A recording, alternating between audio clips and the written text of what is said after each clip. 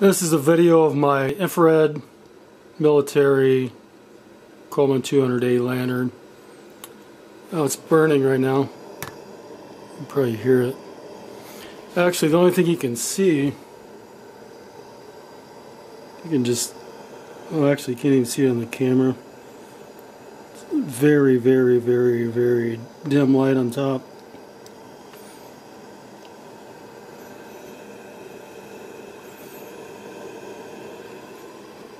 I don't know, you can see a tiny bit there.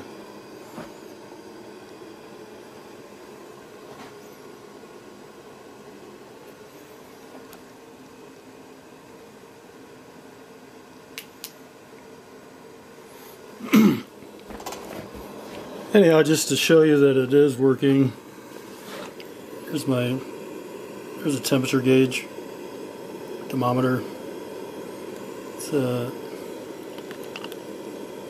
77 degrees. Guess I can turn the light on now.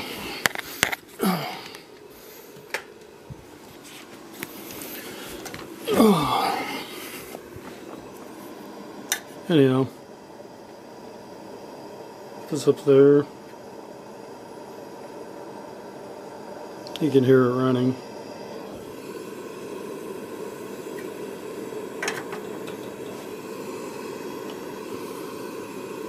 Up to 113, 120. It's obviously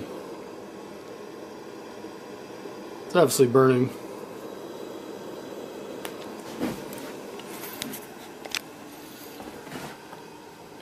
Definitely pretty cool. I think if I um,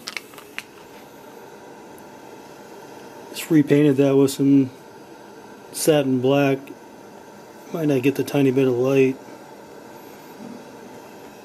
And seal that up a little tighter.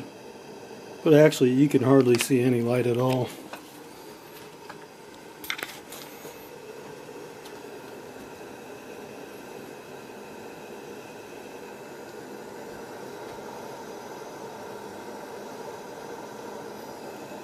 With the camera, I don't see anything on the camera, but you can't. You can see a tiny bit of light, not very much at all. Pretty cool.